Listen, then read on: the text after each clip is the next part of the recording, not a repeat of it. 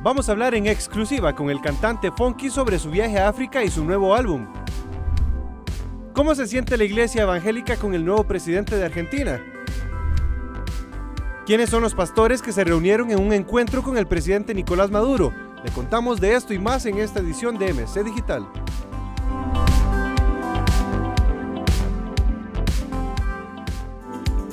Muchas bendiciones, bienvenidos a MC Digital, les saluda Stephanie Sánchez. Comenzamos esta edición con un invitado especial quien fue nominado dos veces al Grammy Latino, hablamos de Funky. Recientemente él hizo un viaje a África que él asegura le cambió la vida. Funky, gracias por acompañarnos.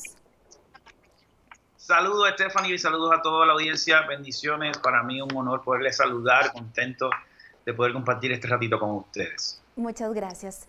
Específicamente, Funky, ¿qué fue lo que hiciste en este viaje? Pues mira, eh, ir a África era un deseo de mi corazón de hace muchos años y unos pastores amigos eh, me hablaron de que iban a dar ese viaje y, yo me quise añadir y estuviera ahí. Eh, y fue una experiencia de estas que yo digo que te cambian la vida y la perspectiva por completo a veces uno se tiene que alejar de, donde uno está para poder ver eh, bien, eh, con claridad, las bendiciones y los, privilegios que a veces tenemos que en otros países no los tienen. No que, no que en, Latinoamérica y en nuestros países no hay esa pobreza, pero ver, eh, verlo de lejos, de lejos, países, países cambian, tu mentalidad, tu perspectiva. Fue realmente una experiencia enriquecedora para mí y para mi familia. ¿Y en qué sentido cambió este viaje su vida? Pues mira, en muchos sentidos, eh, ver, eh, más que todo, eh, se habla mucho de la necesidad de alimentos que hay allá, pero para mí lo que me marcó, que de hecho decidí titular mi álbum Agua, es, es por la necesidad de agua potable que hay en África. Eh, y ver eh, el esfuerzo que estas personas hacen de caminar millas, kilómetros para llegar a agarrar un poco de agua eh, para el día y vuelven y lo hacen al otro día siguiente y vuelve así todos los días están. Sin embargo, nosotros en nuestra casa tenemos el privilegio de simplemente abrir la llave y sale agua y, y a veces con todo y eso no, no, no nos sentimos satisfechos. Y para mí fue una, una eh, ¿cómo se llama? Una analogía interesante de cómo comparar eh, nuestra vida espiritual, de muchos nosotros eh, constantemente estamos en, en, esa sequía y somos, somos casi insaciables y esto, ahí es donde me recuerda lo que dice la palabra, en donde el agua que Él nos da es la que realmente quita la sed y que cuando bebemos de esa agua no tendremos sed jamás. Entonces me, me hizo entender mucho lo que Jesús quiso mostrar y decir en, ese, en, esa, historia. Eh, me lo puso en un retrato vivo que pude entenderlo con claridad. Funky, qué importante eso que usted dice, porque sin duda muchas veces nosotros somos muy mal agradecidos. Sin embargo, usted pudo ver con sus propios ojos lo que es realmente ser agradecido con Dios por simplemente una gota de agua.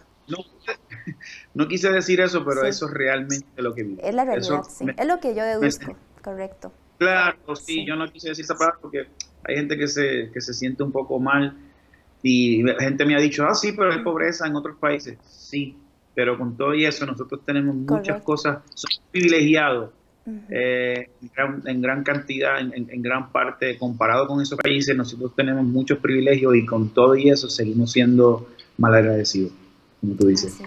Sí, sí, correcto. Ah, Fonky, yo quería enfocarme también en el tema de lo que es y cómo se vive el cristianismo en Uganda. ¿Qué nos puedes decir sobre esto?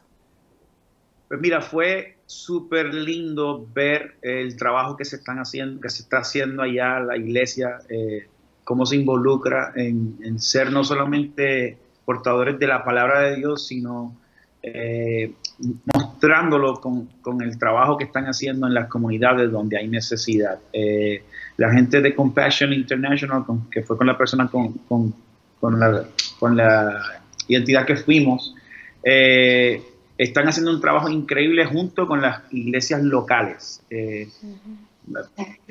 ellos simplemente suplen unas partes, pero la iglesia local se involucra eh, con, la gente, van a, los lugares, los, los educan, eh, no solamente en la parte espiritual, sino también en la parte laboral, de cómo sembrar, de cómo cosechar. es, una, es un trabajo increíble, aparte de los pozos que están haciendo en, en comunidades específicas para que la gente no tenga que caminar tantas distancias y puedan tomar un poco de agua eh, limpia.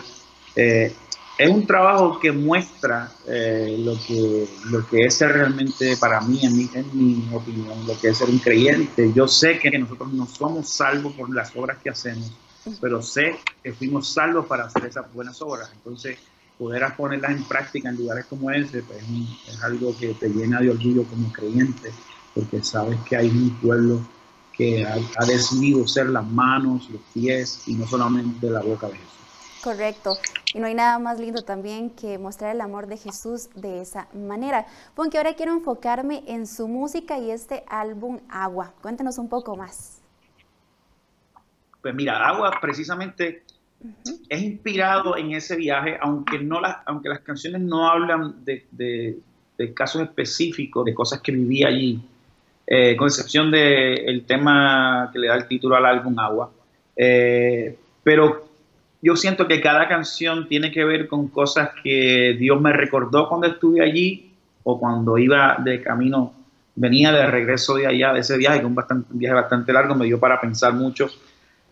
Y yo creo que cada canción eh, es inspirada por, por, ese, por esa experiencia que tuve allá habla de diferentes situaciones, eh, tanto como para nosotros como creyentes como para el no creyente. Quise hacer un disco que fuera un disco que todo el mundo pudiera escuchar, eh, escuchar y pudiera recibir. Yo siento que cada canción, eh, primero a quien hablo es a mí mismo.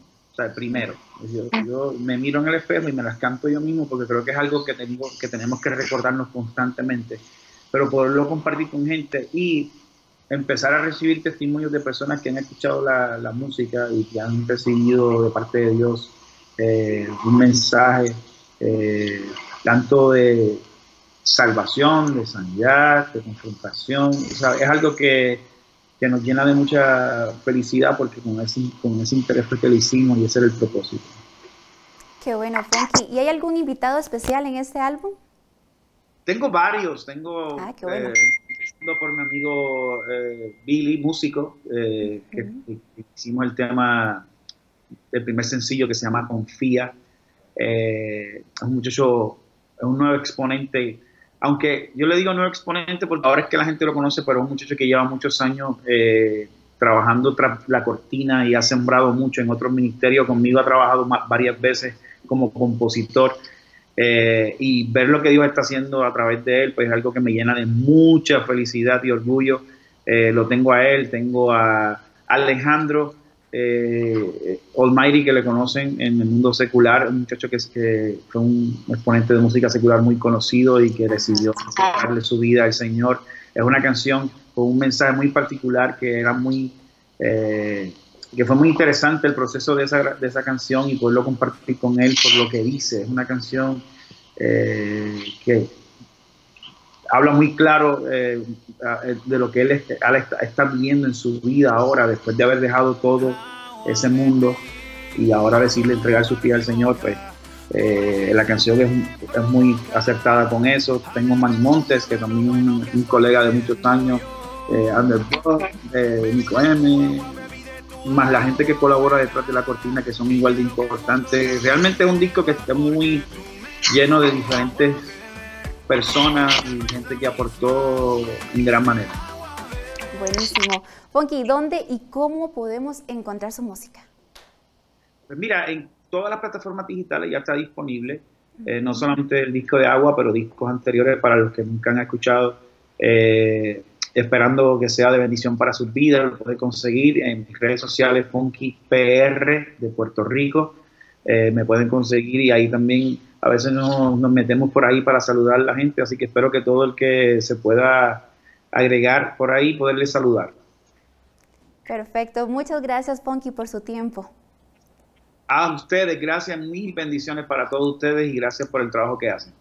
Que Dios lo bendiga muchísimo y bueno, espero que tenga más viajes donde puedas compartir el amor de Jesús. Amén. Igual ustedes, bendiciones. Hasta luego, bendiciones. Conversábamos con el cantante Fonky, quien compartía el testimonio de su visita a Uganda y su nuevo álbum Agua. De parte del equipo de Mundo Cristiano, le queremos ahora dejar un mensaje muy importante.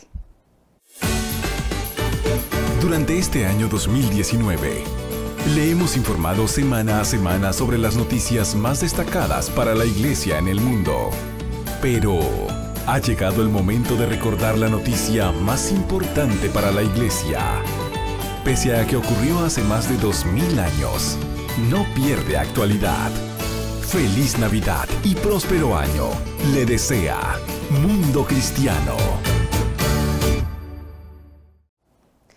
Peronista Alberto Fernández juró el martes como presidente de Argentina ante la Asamblea Legislativa para el periodo 2019 y 2023.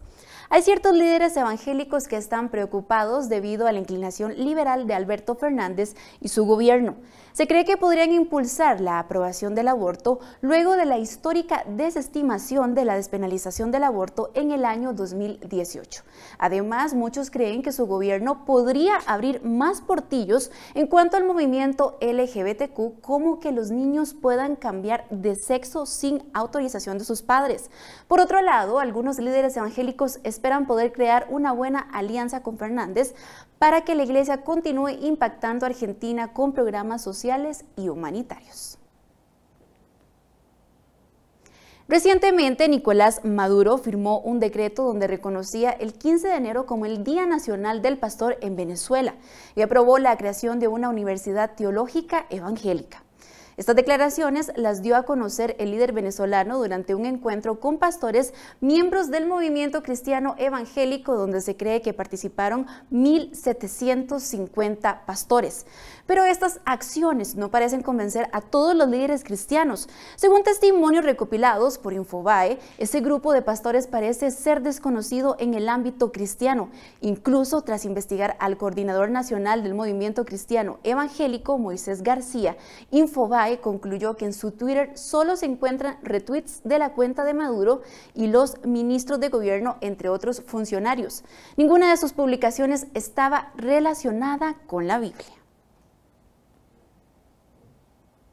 La coalición de diputados evangélicos de Costa Rica ha emitido un comunicado para pronunciar su oposición a la norma técnica para el aborto terapéutico e indicó que interpondrá un recurso de amparo contra el presidente del país, Carlos Alvarado. La tarde del martes, el ministro de Salud, Daniel Salas, anunció que enviarán la norma técnica al presidente de la Caja Costarricense de Seguro Social para una revisión antes de que sea firmada. Por su parte, el presidente Alvarado realizó una transmisión en vivo en Facebook para aclarar que la norma se elaboró con el criterio técnico y especializado del Ministerio de Salud para hacer cumplir el artículo 121 del Código Penal vigente desde el año 1970 que permite el aborto solo en caso de riesgo inminente de salud. Los diputados cristianos consideran que dos de los artículos de esta norma podrían abrir portillos para la despenalización del aborto. Muchas gracias por estar en, sintonía de Mundo Cristiano. Recuerde suscribirse acá a nuestro canal de YouTube. También recuerde activar la campanita para que pueda recibir todas nuestras notificaciones. Muchas gracias por su sintonía. Que el Señor les bendiga.